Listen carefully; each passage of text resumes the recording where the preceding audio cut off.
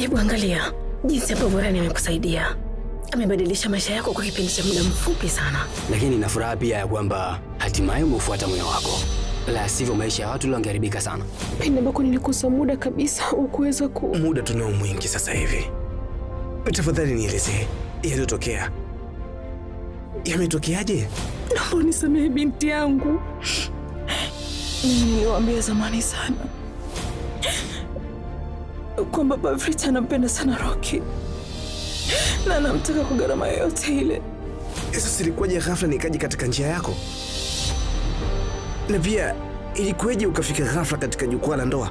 Malkia Shetani, Jumatatu hadi Ijumaa saa mbili kamili usiku ndani ya Mambo TV Swahili.